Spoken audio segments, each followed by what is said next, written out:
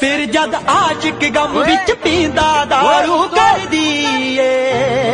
ਉਹਨੂੰ ਦੇਖ ਕੇ ਗੁਜ਼ਰਿਆ ਵਕਤ ਸਾਹਮਣੇ ਆ ਜਾ